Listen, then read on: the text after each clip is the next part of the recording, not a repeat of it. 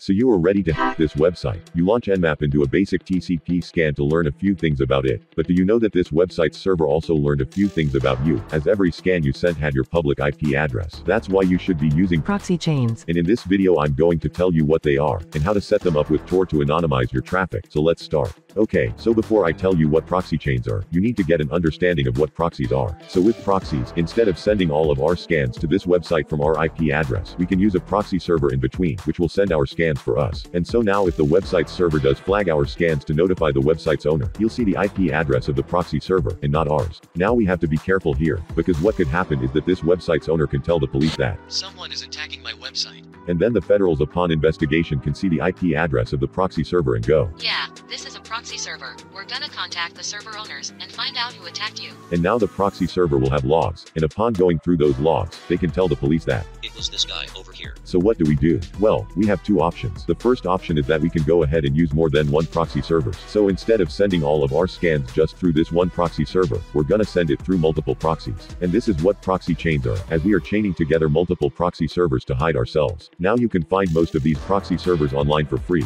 but they are usually not trustworthy and stable as we don't own them. So here comes the second and recommended option, which is using Tor with proxy chains to hide our identity, as Tor is more stable and there are multiple proxies involved, which makes it hard to track down our location. So let's start and see how we can set up and use proxy chains with Tor. Okay, so the first step is to configure proxy chains according to our needs. And to configure it, load up its configuration file by typing sudo space the text editor you want to use. I'll be using nano, and then type in the location of the proxy chains configuration file, which is forward slash, etc., forward slash, proxychains4.conf. Now your configuration file might be stored somewhere else, but you can use the locate command if you want help in finding it. But anyways hit enter, and you'll see the proxy chains configuration file opened in your text editor like this. Now there are four main modes we run this in. The first one is dynamic chain, the second one is strict chain, the third one is a round robin chain, and the fourth one is a random chain. Now as we will be using proxy chains with Tor, it really doesn't matter what mode we're using as we'll be having only one IP address. But just for your understanding, if you were using more than one proxy servers, the dynamic chain here would chain each of the proxies in your list, in the exact same order you put them in,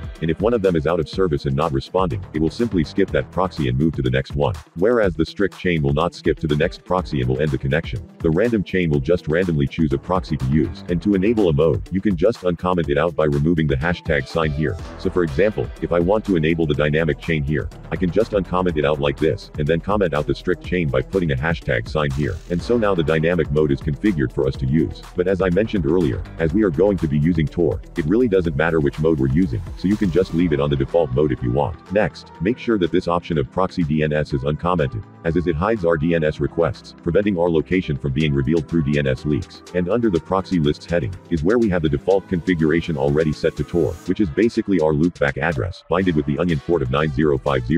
Now if we were not using Tor, this is also where we'll be adding the list of our proxy servers. You can see the examples of how to put them right here. Anyway, here what I want you to do is also add a SOCKS 5 proxy, with same address and port like this, as SOCKS 5 has a little bit of improvements. Now if you're wondering what is the difference between these types of proxies, then that is a topic for another video, but for now, just know that SOCKS 5 is better than SOCKS 4, and HTTPS is mostly better than HTTP. Anyway, next just save the file and exit.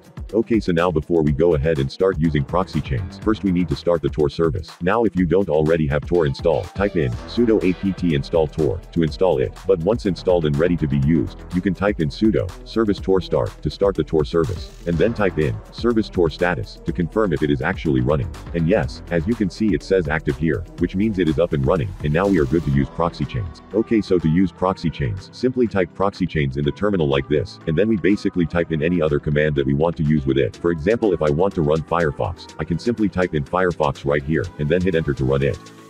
Now let's head over to dnsleaktest.com real quick to verify if our connection with Tor has been successfully established. And yes, as you can see the connection seems to be up and good to go, as I can verify that I'm not in this place right now. And there you go. Now you can go ahead and scan that website anonymously by adding proxy chains before your nmap command and hitting enter to redirect all your traffic through Tor. If you have any questions regarding the video, make sure to ask them in the comments section down below and I will see you in the next one.